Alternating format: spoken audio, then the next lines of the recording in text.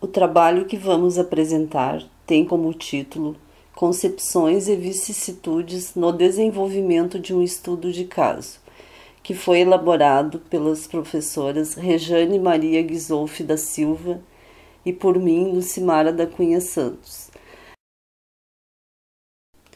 Os objetivos do nosso trabalho foram analisar as possibilidades e vicissitudes do estudo de caso a partir da trajetória metodológica de uma investigação que tem como foco a formação de professores em educação para o desenvolvimento sustentável e destacar aspectos referentes à concepção e implementação dessa tipologia de estudo que possam subsidiar reflexões sobre o tema.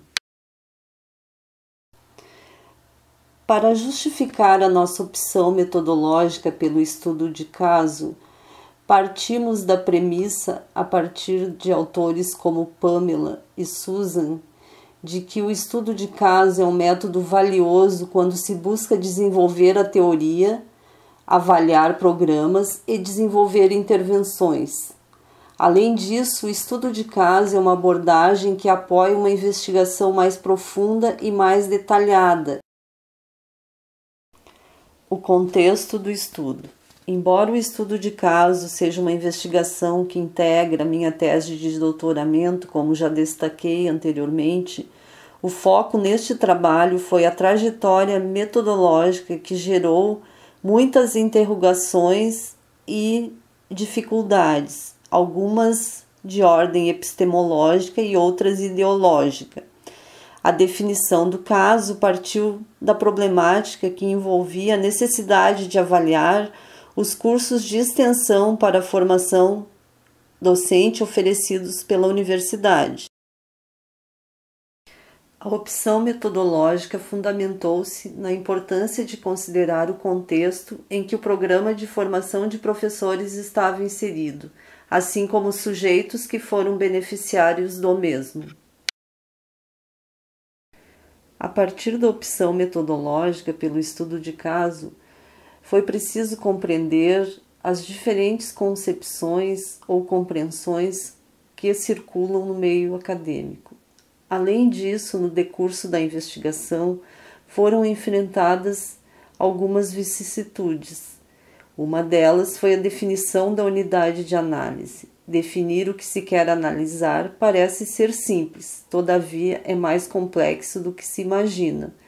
O programa, os professores, os projetos. A outra é a delimitação do tema e a elaboração de objetivos a serem alcançados no processo investigativo. Parece que queremos dominar tudo sobre o assunto. A coleta de dados realizou-se a partir de múltiplas fontes de informação. Para Pamela e Susan, isto assegura que a questão investigativa não seja explorada por uma lente, mas por uma variedade de lentes que permite múltiplas facetas do fenômeno a ser investigado e compreendido. Coletados os dados, surge a necessidade de organizá-los e analisá-los. Para Hawley, qualquer que sejam as fontes, três princípios precisam ser observados: triangulação, banco de dados e seguir um protocolo muito bem organizado. Para IN, pode-se utilizar vários tipos de análise, sendo que a escolha recairá naquela que o investigador se sinta mais confortável.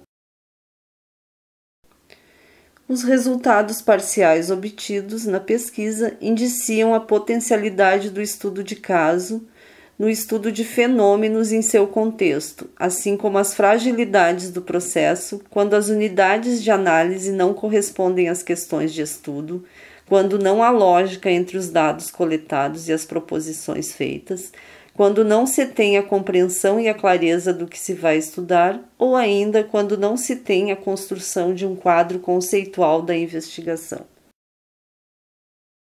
As referências utilizadas no estudo. Obrigada pela atenção